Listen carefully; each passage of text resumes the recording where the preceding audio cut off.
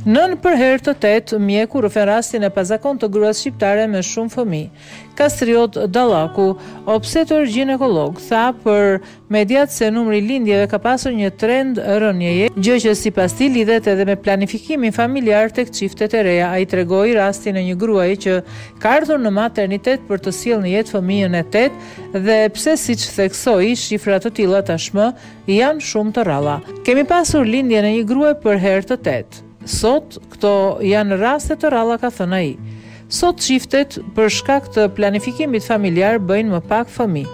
Rastet e lindjes më shumë se një fëmije kryesisht janë binjakë. Raste të rralla trinjakë dhe para 15 vitesh kemi patur edhe pesënjakë ka treguar mjeku.